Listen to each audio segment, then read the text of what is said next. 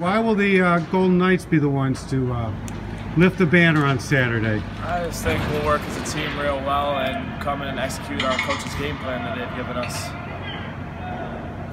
Anybody else? I just think we're more of a team than any other team out there.